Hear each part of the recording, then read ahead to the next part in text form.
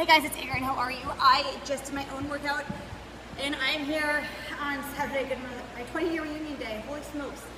Um, so we're doing this challenge. I'll see you guys tonight at our reunion. But for today's core work, um, what I want you to do is you're gonna grab two uh, paper plates, or if you have a sliding disc, use a sliding disc, and you do a plank and a tuck. So I'll show you the exercise, and then what you're gonna do, um, you're gonna separate it out, and I'll explain it to the timer. So first go into a plank position, which you are an expert at these days, position just like so. Your core is nice and strong. Your palms up towards your face. You're gonna hold it here for 30 alligators. And then you're gonna bring your legs out, nice and wide, core engaged, and then tuck them up. And then go out and tuck, and out and tuck. Okay? So how it's gonna work. You're gonna do 30 seconds of the plank with your feet on the gliders or paper plates. Use the paper plates at home and they can, or frisbees, and they can work on your hardwood floor or on your carpet.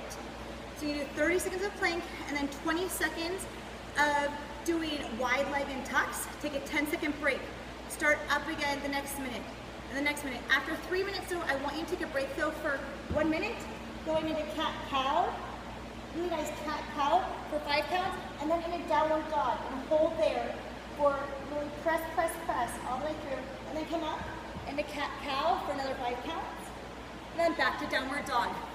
You can do all of it for a total of 10 minutes, okay? Hope that you have a great one. Please, please, please let me know how you're feeling with this. I did extend it for another week because honestly life has been really crazy for myself as I'm sure it has been for all of you guys at the end of summer um, and just a lot of travel. But I look forward to hearing how you're doing. Try this one today though. It's really hard. It's really fun and you'll be doing